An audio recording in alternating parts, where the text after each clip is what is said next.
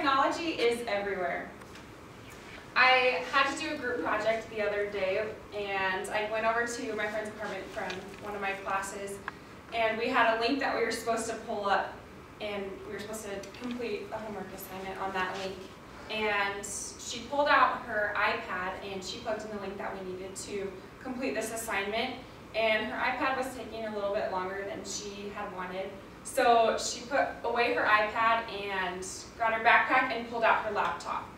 And she plugged in the link again into her laptop, but the laptop wasn't charged very much, so it was going to die soon. So she put her laptop back away and she stuck her hand down her pocket and pulled out her iPhone. And from her iPhone, she was able to plug in the link and we were able to complete our homework assignment from the screen on her iPhone. Now, to me, this is, it's surprising that a college student at about 20 years old has access to that many different things that she can complete, or we could complete our homework assignment on so we could access the internet. Um, we know that's that's expensive. I don't have that many different things right at my fingertips here at school, but what's even more surprising is that that same case is very common even here on our BYU Idaho campus. Um, just a few days after that, from that same class, a different girl pulled out both an iPad and a laptop to complete her assignment in class as well. Um,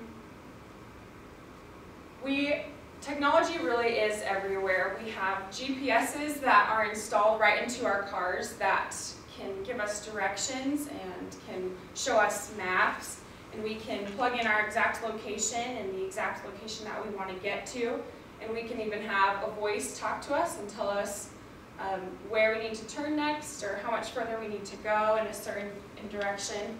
Um, we have cell phones that are able to access the internet, that are able to check our emails. Um, we have small enough computers, so we have laptops and iPads and Microsoft Surfaces that are small enough to fit into both our purses or our backpacks, so we have constant access to these devices.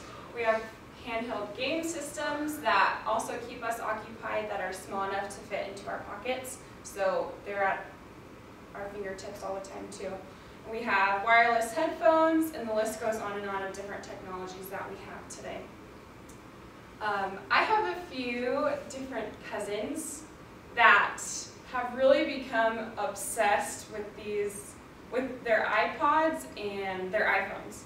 So we have a lot of family get-togethers where all of our cousins and aunts and uncles and grandparents um, come together and we usually have dinner together and then we just have conversation with each other, get caught up on what we've missed in each other's lives and even though these, these cousins that I'm talking about are present, they're not really there.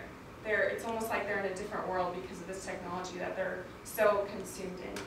Um, if you ask them a question, they will answer you, but pretty much for the most part, conversation isn't initiated uh, on their part. So if they're there, but they're not really there mentally. Um, I take an interpersonal theory and practice class this semester, and the other day, we were talking about the skill of listening.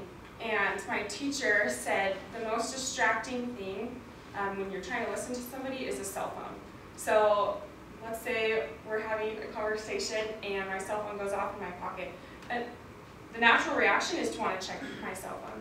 But what is the message that we're sending to the person that we're actually communicating with in person when we stop to check that message?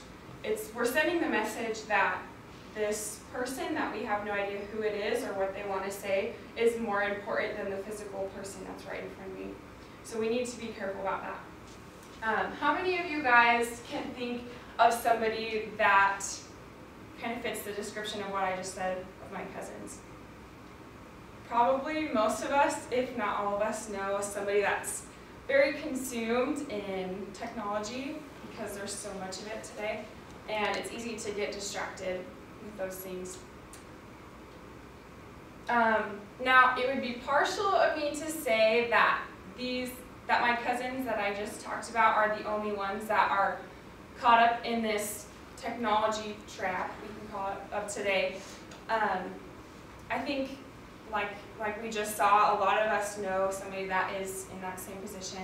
And I also think it would be partial of me to say that I personally have not been found in that position. I know that both these two sites are my most popular. I say every single day I visit both of these at least once.